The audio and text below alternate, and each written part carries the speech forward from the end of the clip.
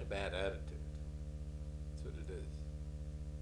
No, I'm serious. You, you've got a bad attitude. supposed to, to, to want to enjoy life with me and, and occasionally indulge my whimsy, if you will. Right? I will. Right? But I don't have to become I'm enough for the both of us, thank you. Aren't I?